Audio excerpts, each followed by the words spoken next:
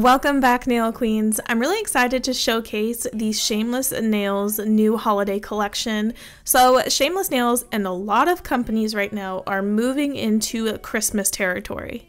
I'm gonna be honest, I'm not ready for that kind of dedication. So, I'm gonna show you guys all of Shameless Nails' new collection and I'm gonna do a mani with it, but it's not gonna be Christmas themed. So here is Shameless Nails packaging. They always blow it out of the water. They do such a great job with their packaging. Their branding is impeccable. And I love that the collections come with like this little info card and it's super cute, super decorative, and it tells you about every single color that's coming in the collection. So just give me a moment and I'm going to show you the colors. The first color is called Major Award. The info card says, Riches await inside this gold studded burgundy turning to bright red beauty. Yes, you heard, it turns to bright red. So this is a thermal changer. It goes from hot to cold. This is the cold color. It is a gorgeous burgundy, very deep with this gorgeous gold glitter. But here you can see the transition from the burgundy to the red. I think is absolutely stunning and I love this one. Bedford Falls is described as invisible angel wings are distributed liberally in this heavenly shade, ready to envelop you like an evening walk in the pure, sparkling snow. Doesn't this look like snow? It is so beautiful, fine, and easy to use. 34th Street is also a thermal. It's described as this cozy shade full of sophisticated glimmers and shimmers will inspire you to believe, transforming your world from subtle tones to rosy optimism. So the color is currently in its cold state. It is the darkest red that it will go. And here it is showing cold versus warm. Warm is up top, cold is on bottom. And then here it is compared to Major Award. I'm going to save your ears by not actually screaming out this line from Elf, but Santa, oh my god, I know him! The magical presence of Santa makes this perfect holiday color shifting dip. This is literally a Christmas tree. Like, look at it. It's got the green, it's got the perfect red, the gold reminds me of ornaments on a tree, and the gold actually shifts. Hermey, the dentist elf, Nobody misfits it better than you in this soft blue chunky glitter. I love blue and I love Rudolph the Red-Nosed Reindeer and Hermey is one of my favorite characters from that movie. It's also one of my favorite Christmas movies in existence. I love the animation of that movie. Griswold I think this one's going to be a fan favorite. It says, You'll light up the night in this glowing tribute to the family, full of pinks, purples, teals, and silvers. This color is a gorgeous purple base, and you can already tell uh, the colors that it has in its glitter. But this color also glows, and I think that's so cool. I love myself a good Die Hard reference, so Nakatomi is like the reflected glow of multicolored lights and shards of metal and glass. This metallic dip will give you all the badass holiday feels you can handle. Who else thinks that Die Hard is a Christmas movie? Raise your hand if you do in the comments below. And the Die Hard references keep going. Man, I love this. Yippee ki insert motherfucker. Be your own hero in the shimmering dip pierced with turquoise blue flakes and color shifters. So it has what looks like to be like a nice nude base, and I love the turquoise flakes they have in this. Christmas is not Christmas without a green. Little Buddy, when you elf it up in the super festive green shimmer, you'll be singing loud for all to hear. It's a simple, gorgeous green powder that's perfect for holiday festive manicures.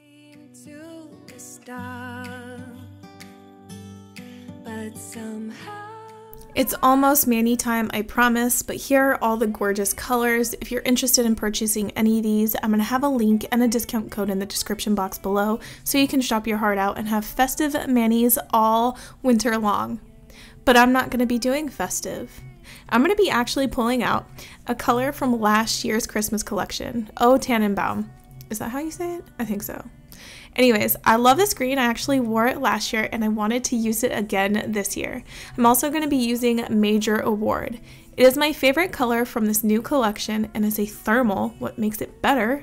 Anything that changes color It's just like, it's got a double effect. It's like you're wearing two dips at once. Anyways, I'm gonna apply peel base to my nails. It already has peel base on my nails. It's just air drying right now.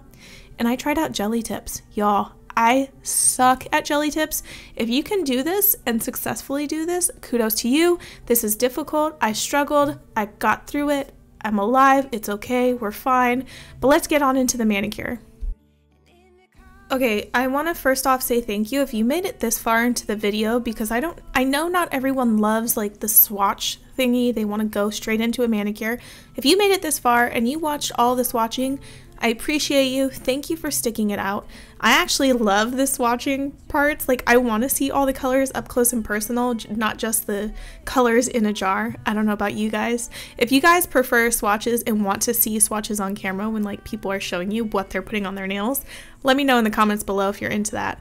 And look at the color change. It's already warm on my fingers, so it looks like it's a bright red, but it's cold in the jar, so it's like that dark, deep burgundy.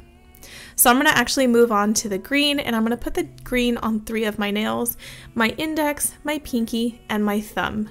And while I'm putting the green on my nails, we're going to get into a Q&A. I love answering your guys' questions on my videos, so here's a recent question from Tammy.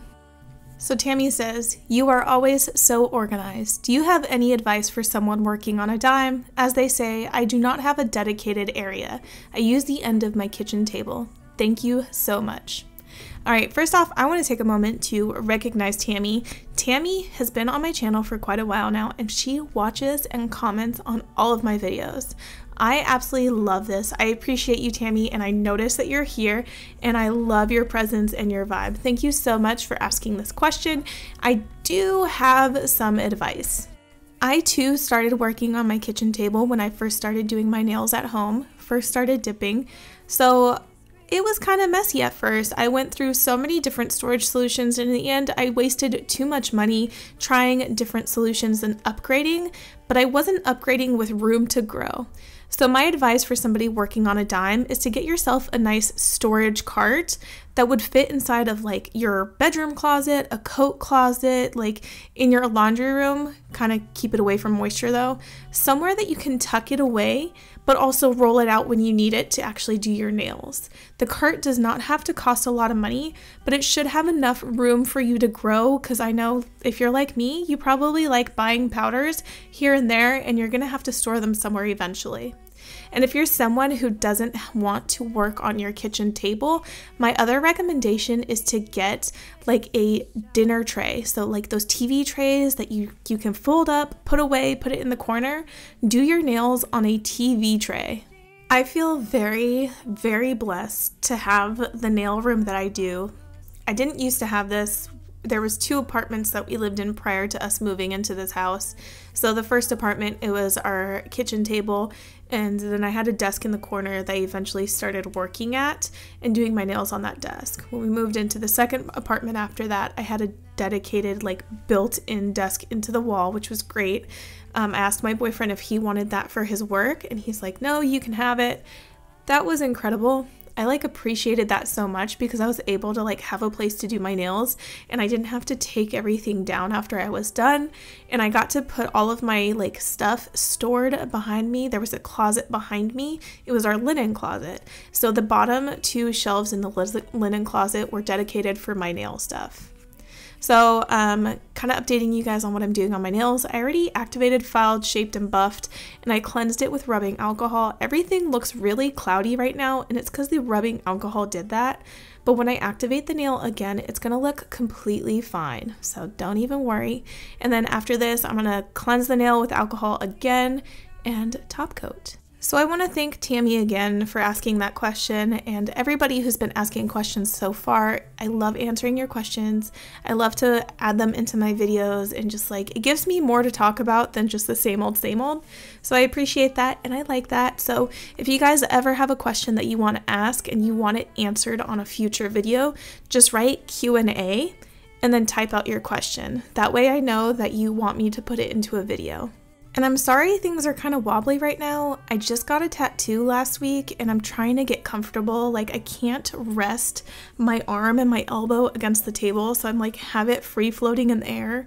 And it's kind of hard to like do your nails when you don't have like leverage, you don't have anything to like prop your arm up against. So things are looking a little weird. Sorry about that. And I know, I know you're probably thinking, Carole, you didn't do your middle finger. Why is there nothing on your middle finger? So I'm actually going to do a tortoise shell nail art. I, I have a video on that. I haven't edited it yet. It's a whole different process. This video would have been like 20 something minutes long. I try to keep them short and enjoyable for you guys. So I'm going to have that video coming up next week if you want to watch it. Just hang tight, I promise. It's actually using gel. I know some people want like a dip powder method to do that. I think Melissa's Manis has a dip powder version of tortoiseshell on her nails, but I did the the super easy way that I knew and I used gel.